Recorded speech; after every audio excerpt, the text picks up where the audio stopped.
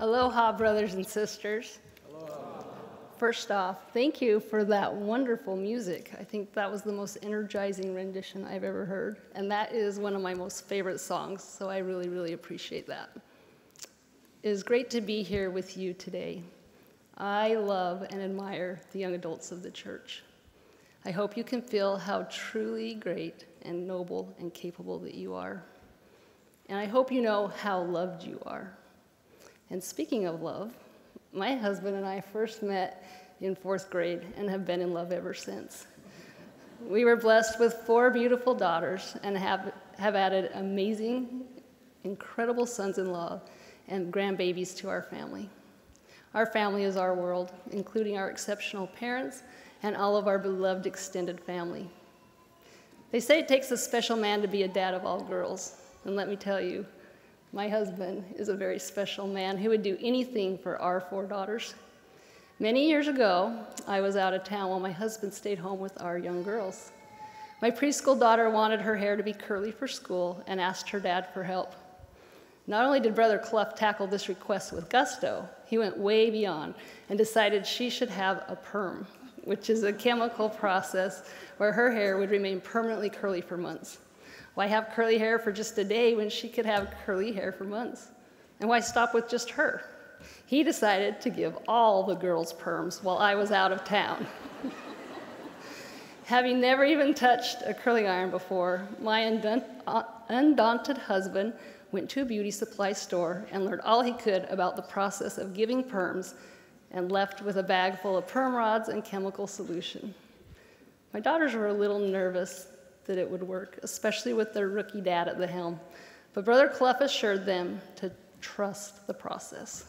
If he followed the instructions correctly, they would have permanently curly hair, despite the awful smell, the uncomfortable perm rods, and lots of hair tugging. I'll never forget the beaming faces of my curly haired daughters when I stepped off the plane, or my husband, who was beaming the most. He had been right.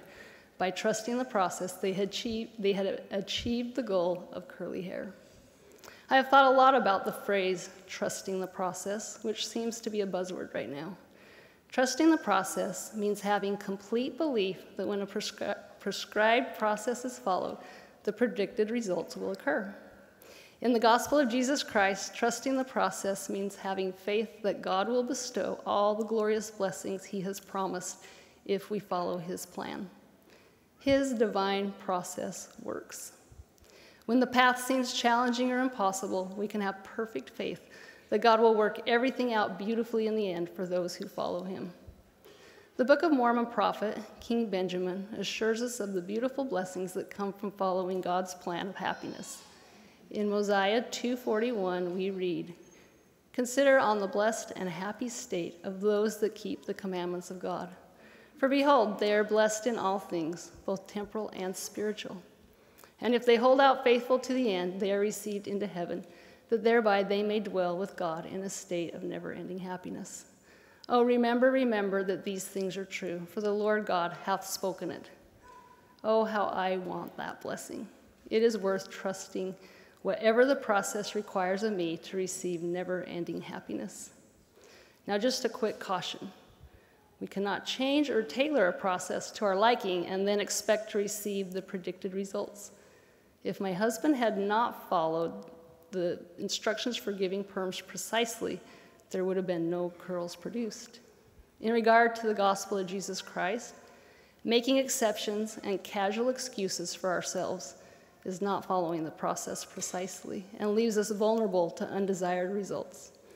In fact, if we're not careful, it can even cause us to abandon God's divine process altogether.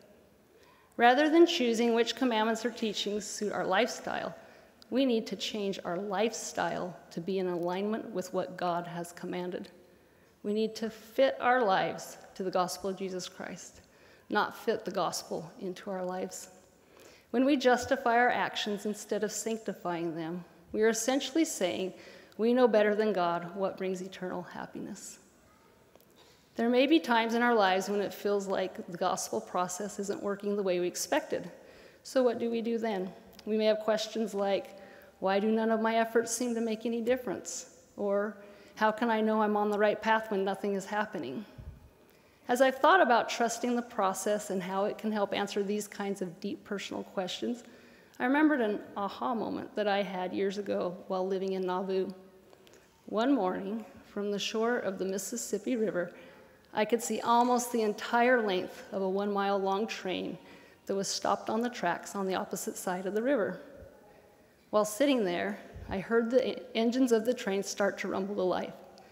The sound got louder and louder, reaching a deafening volume that could be heard across the river, even causing a vibration in my car. I curiously watched as the stationary train was straining for all it was worth in order to get moving. Yet I saw nothing, not even the slightest twitch of the train for quite some time. It took several long minutes of great energy from the loud revving engines before the train inched ever so slightly forward. A continual, enormous amount of effort was required for the train to overcome its resting inertia.